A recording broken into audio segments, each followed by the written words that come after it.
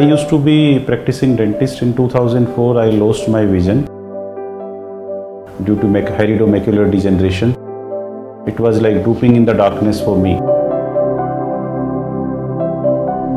When I struggled for my livelihood, I realized challenge faced by people with disability in India. Then 2008 we started Sarthak.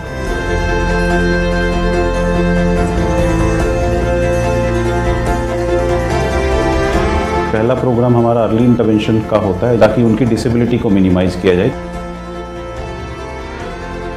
Centre of excellence for skill है, जिसमें करीब हम 10 sectors की training देते हैं इन बच्चों को, और उसके जॉब रोल्स करीब 25 हैं।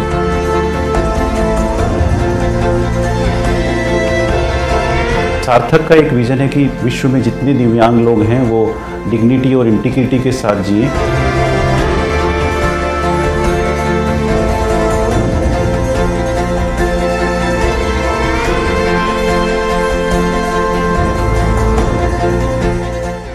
मैं समर्थ हूँ।